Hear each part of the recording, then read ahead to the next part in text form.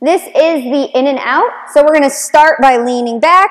Um, you guys can start with your hands behind your back, and then we're just gonna bring the knees in and then press them out, all right? So the further you lean back, the harder they'll get. If that's a little too easy, you guys can bring the hands up to your side, and then we'll just do the same thing, knees into the chest and back out.